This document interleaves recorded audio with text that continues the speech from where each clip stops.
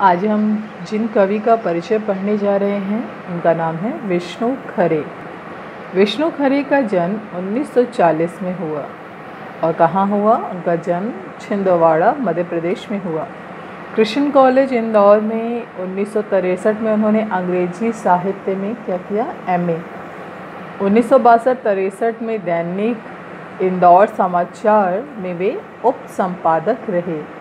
उन्नीस से पिछहत्तर तक मध्य प्रदेश तथा दिल्ली के महाविद्यालयों में अध्ययन से भी वह जुड़े रहे। इसी बीच उन्नीस सौ में लघु पत्रिका व्यास का संपादन उन्होंने किया। तत्पश्चात उन्नीस सौ छिहत्तर से चौरासी तक साहित्य अकादमी में उप सचिव पद पर पदासीन रहे। 1985 से नवभारत टाइम्स में प्रभारी कार्यारी कार्यकारी संपादक के पद पर भी उन्होंने कार्य किया। बीच में लखनऊ संस्करण तथा रविवारीय मनव भारत टाइम्स हिंदी और अंग्रेज़ी टाइम्स ऑफ़ इंडिया में भी संपादन कार्य से वह जुड़े रहे।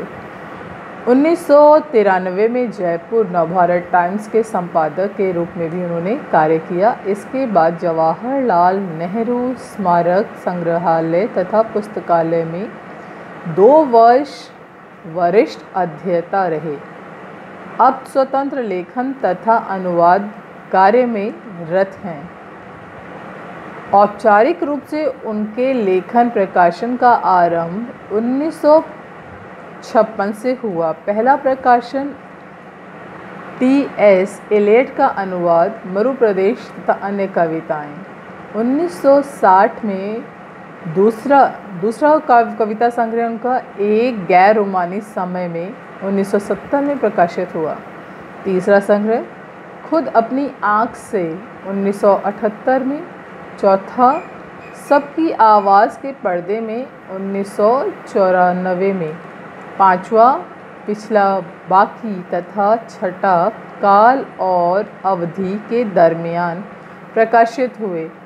एक सीमा एक समीक्षा पुस्तक, आलोचना की पहली किताब उन्नीस सौ तिरासी में प्रकाशित हुई। उन्होंने विदेशी कविताओं का हिंदी तथा अंग्रेज़ी अनुवाद भी किया है। उनको फिनलैंड के राष्ट्रीय सम्मान knight of the year of the white rose से सम्मानित किया गया। इसके अतिरिक्त रघुवीर सहाय सम्मान, शिखर सम्मान, हिंदी अकादमी, दिल्ली का साहित्य सम्मान, मैथिली शरण गुप्त सम्मान मिल चुका है। इनकी कविताओं में जड़ताओं और अमानवीय स्थितियों के विरुद्ध सशक्त नैतिक स्वर की अभिव्यक्ति हुई है। ठीक है? अब यहाँ जो इन्होंने कविता लिखी है, उस कविता के बारे में हम थोड़ा परिचय देख। लें कविता हम विस्तार रूप से कल पढ़ेंगे, उसका परिचय हम देख। लें एक कम। कविता के माध्यम से कवि ने स्वतंत्रोत्तर मतलब स्वतंत्रता के पश्चात भारतीय समाज में जो प्रचलित हो रही जीवन शैली को रेखांकित मतलब बताने का प्रयास किया है। आज़ादी हासिल करने के बाद सब कुछ वैसा नहीं रहा, जिसकी स्वतंत्रता सेनानियों ने, आज़ादी के सेनानियों ने कल्पना की थी। पूरे देश का या कहीं आस्थावान, ईमानदार और संवेदनशील जनता का मोह भंग हुआ। मोह भंग मतलब किसी चीज़ से विश्वास का उठ जाना। परिणाम यह हुआ कि आपसी विश्वास, परस्पर भाईचारा और सामूहिकता का स्थान किसने ले लिया? धोखाधड़ी, आपसी खींचातान और नितांत स्वार्थपरकता ने लिया और ऐसा माहौल बनता गया। कवि इस माहौल में स्वयं को असमर्थ पाते हुए भी ईमानदारों के प्रति अपनी, क्या करते हैं, सहानुभूति प्रकट करते हैं।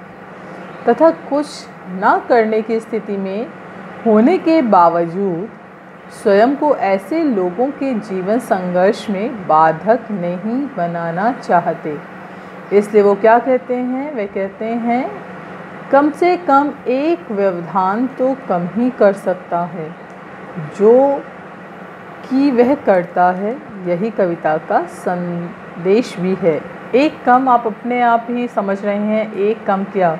किसी भी कतार में एक व्यक्ति के हट जाने से व्यक्ति को थोड़ा सा राहत मिलती है। किसी राशन की लाइन में अगर एक व्यक्ति हट जाता है तो वहाँ उससे उसका जल्दी नंबर आने की संभावना बढ़ जाती है।